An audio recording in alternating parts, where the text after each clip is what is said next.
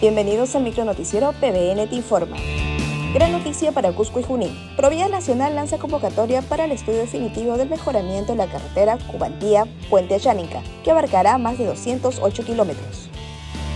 Avanzamos con la mejora de la conexión vial en Lambayeque. Próxima convocatoria para la ejecución del proyecto Puente Juana Ríos y Accesos tras la reciente actualización del valor referencial para la ejecución de la obra. Segunda convocatoria la subasta pública presencial de estructuras metálicas de puentes modulares desmontados y cajas de metal con elementos de embalaje. Entérate más revisando nuestras redes sociales. Provía Nacional adopta las nuevas guías aprobadas por la PCM para evaluar el índice de capacidad preventiva frente a la corrupción, que refuerza nuestro compromiso con la transparencia y la mejora continua de la implementación del modelo de integridad. En cumplimiento con los acuerdos de la reunión en Lima con las autoridades locales, se realizó la visita de inspección a la carretera Cuterbo, Sócota, Santo Tomás, Pimpingos, Cuica. Durante este recorrido identificamos los puntos críticos para evaluar su atención y mejora.